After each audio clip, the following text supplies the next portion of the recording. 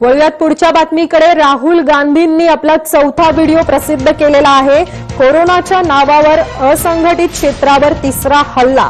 राहुल गांधी यांनी पंतप्रधान नरेंद्र मोदींवर टीका केलेली आहे. राहुल गांधींचा आर्थिक मुद्द्यांवरील हा चौथा व्हिडिओ त्यांनी प्रसिद्ध केलेला आहे.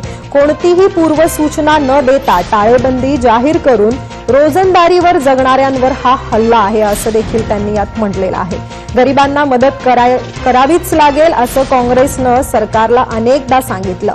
न्याय योजनेसारखी योजना राबवलीच लागेल असं देखील सांगितलं. आम्ही सूक्ष्म लघु मध्यम उद्योग वाचवण्यासाठी पॅकेज मागितलं होतं परंतु सरकारने काहीही केलेलं नाही. राहुल गांधी यांनी सरकारवर हा आरोप केलेला आहे. उलट सर्वात श्रीमंत पंधरा ते वीस उद्योगपतींचे एक पूर्णांक पंचेचाळीस लाख कोटी रुपये माफ केलेले आहेत. टाळेबंदी हे कोरोनावर नव्हे, तर भारतीय गरिबांवरील आक्रमण आहे, असं देखील त्यांनी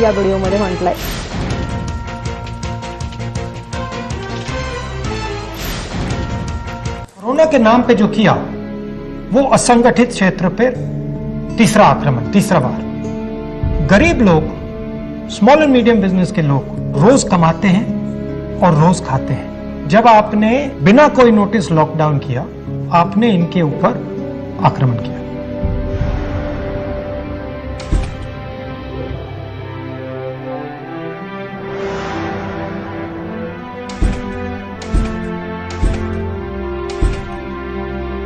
प्रधानमंत्री जी ने कहा कि 21 दिन की लड़ाई होगी।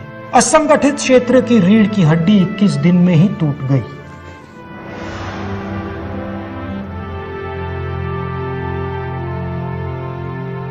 लॉकडाउन के बाद खुलने का समय आया।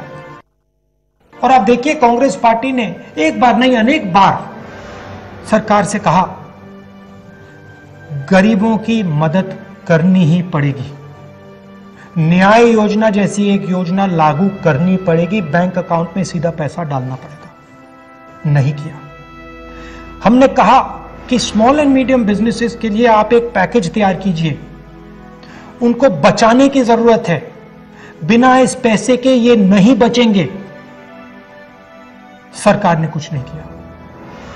उल्टा सरकार ने सबसे अमीर 15-20 लोगों का लाखों करोड़ रुपए टैक्स माफ़ किया लॉकडाउन कोरोना पर आक्रमण नहीं था।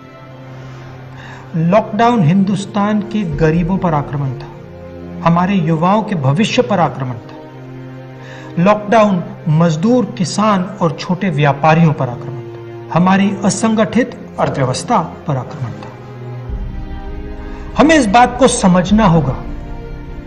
इस आक्रमण के खिलाफ हम सबको खड़ा होना होगा।